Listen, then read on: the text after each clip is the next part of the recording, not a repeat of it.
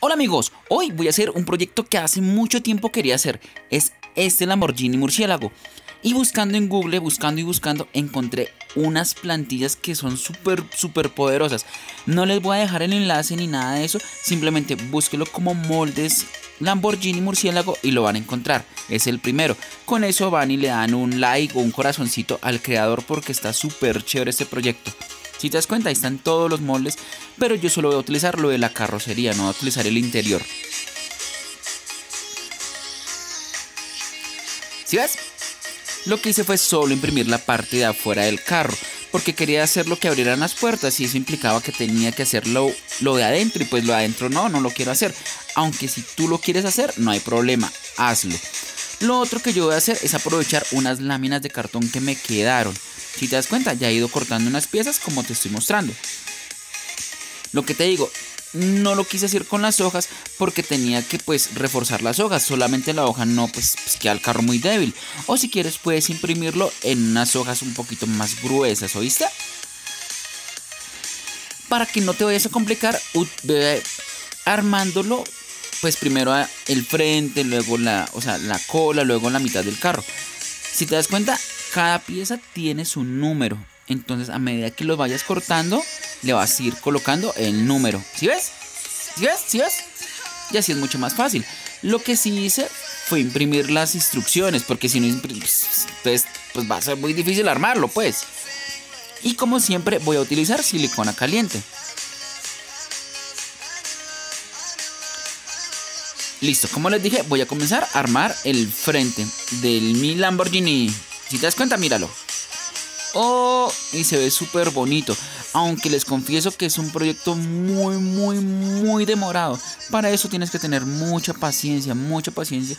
Porque yo me gasté como tres días y medio, casi cuatro días. Claro que no completos, ¿no?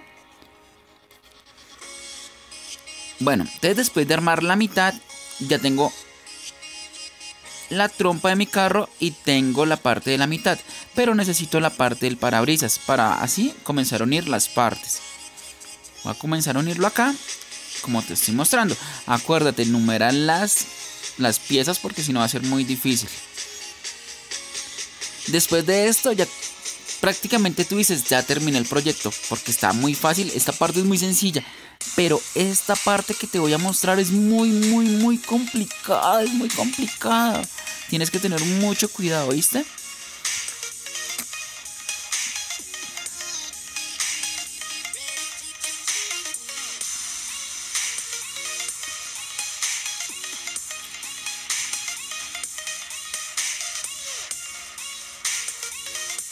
Oh, por Dios, aquí comienza lo difícil.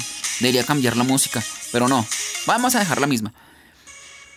Oh, Listo, esta es la parte de atrás. Aquí comienza lo complicado, amigos. Tienen que tener mucha, muchísima paciencia, muchísima. Esta parte es como, como donde va, no sé, el baúl del carro, puedo decir. Y esto lo vas a volar hacia abajo. Y ahí va pues las farolas, va el bumper trasero.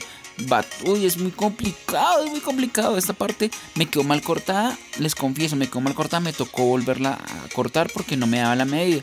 Eso sí, tienen que tener mucho, muchísimo pulso para cortarlo para que te quede súper bien. ¿Sí ves? Aparte, eso tiene unas piezas súper chiquitas, súper chiquitas, que son muy difíciles de colocar con la silicona. Entonces, por eso les digo, a propósito, mira, ya dañé mi pistola. Me acompañó como tres años desde que comencé el canal. Me acompañó esta pistola de silicona, pero pues ni modo, se dañó. Entonces me tocó ir a comprar otra. Y aquí es como el tercer día llevo pues lo que les digo, no es tercer día, son como las tardes, porque pues en la mañana tengo que trabajar y hacer otras cositas.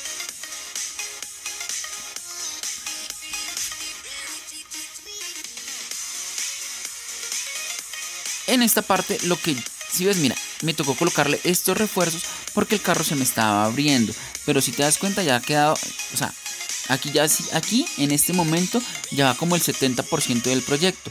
Si te das cuenta, quedó muchas imperfecciones, muchas, muchísimas imperfecciones en el cartón. Y como yo lo voy a pintar necesito comenzar a pulirlo. Yo veo muchísimo, muchísimo esos programas donde reparan carros, entonces ellos le colocan como una masilla y yo lo más cerca a una masilla, una masilla que tengo es el colbón o pegante blanco, que es este que te estoy mostrando. Entonces lo que yo hice fue aplicarle en todas las hendiduras y huequitos que me quedaron y posteriormente lo que hice fue como lijarlo con una lima de uñas o con una lija muy delgadita te sirve.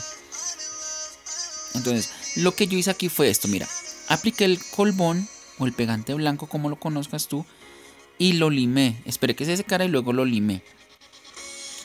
Mientras tanto, voy a ir, o sea, mientras se seca el colbón, lo que hice fue preparar la parte de abajo del carro.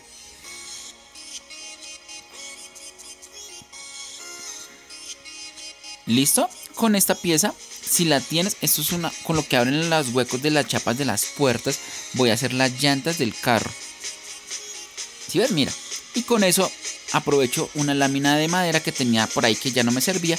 Entonces, si te das cuenta que estoy utilizando solo cosas que tengo en la casa. No vas a decir, ay, ay, ay, no. No, todo esto lo tengo en la casa y pues algunas cosas sí las tuve que comprar. Por ejemplo, hay unos palitos de balso que voy a utilizar para las farolas. Ah, y este tornillo es un tornillo largote, largote, largote. Iba a utilizar un palito de balso, pero pues aprovecho esta, este, este tornillo que tengo acá, esta varilla que tenía hace rato por ahí dando vueltas. Con las tuercas las coloqué aquí porque eso me va a ayudar a que las llantas no se comiencen a mover de un lado para otro. Esto es lo bueno del proyecto que estoy haciendo. Si te das cuenta, las llantas se pueden mover, o sea, el carrito se va a mover. Como lo mostraba, o sea, cuando, o sea las, los moldes que tú vas a encontrar en Google, pues va a quedar súper chévere, pero van a ser piezas rígidas. Entonces en este momento pues estoy haciéndole cambios. Ahora sí, mira, lo que estoy haciendo ahora sí es limar. Aunque les confieso que yo le eché a todo el carrito, le eché colbón, a todo, a todo. Esperando que quedara como brillante en el momento de pintarlo. Pues eso era lo que yo pensaba, aunque no quedó así. Pero la verdad el resultado fue muy muy bueno. Muy, muy bueno, muy bueno. No se imaginan lo chévere que quedó después de pintado. Lo que hice, lo que te estoy mostrando, esto es la segunda o tercera mano que ya le he hecho de colbón. ¿Sí ves? O de pegante blanco, vuelvo les digo. O sea, yo, o sea, yo lo que hacía era lijar y echarle colbón. Lijar y echarle pegante. Lijar y echarle pegante hasta que era lo más liso posible. Tratando de quitarle todas las imperfecciones que dejó el cartón. con este pitillo y con esta botella tenía pensado hacer eh, pues las ventanas, pero el carro lo voy a pintar de negro, entonces realmente no la utilicé. Voy a buscar algo rojo. Y el exhausto si lo voy a dejar de ese color, me gusta mucho el exhausto amarillo, lo voy a dejar. Ese pitillo es para el exhausto, el exhausto es doble. Si ves, mira, con un palito de balso lo que hice fue las farolas del frente. Sea, los bombillos se puede decir, ¿sí ves? Y quedaron súper chéveres, súper chéveres. Mejor de lo que esperaba. Aquí estaba haciendo como pruebas de pintura y realmente lo iba a dejar rojo, pero no, no me gustó. Lo que hice fue dejarlo negro. Y lo que estoy haciendo es pintando el interior del carro. Pues realmente solamente pues lo que se ve, no va a pintar todo el interior porque pues no se necesita, solo lo que se ve. Y lo que hice con esos palitos fue darle como más rigidez a la parte inferior, porque como es cartón se, se me estaba doblando. Si te das cuenta, aquí lo pinté de rojo, pero no me gustó. Entonces lo que hice fue utilizar vinilo negro y yo creo que me quedó súper chévere. ¿Sí ves? Súper chévere. Se ve súper bonito, súper bonito.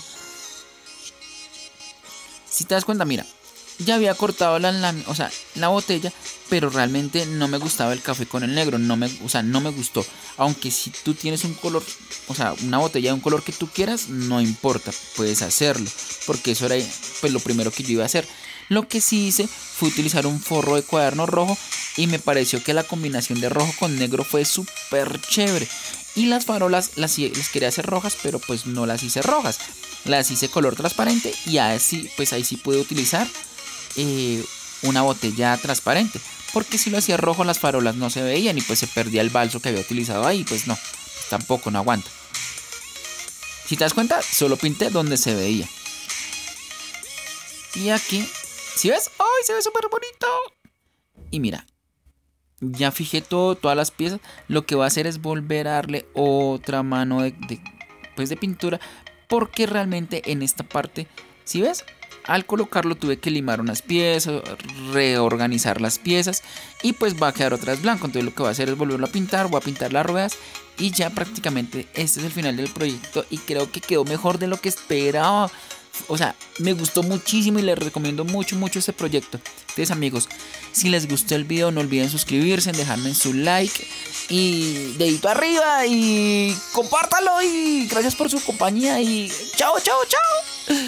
Voy a disfrutar este carro porque esto es súper bonito, súper bonito.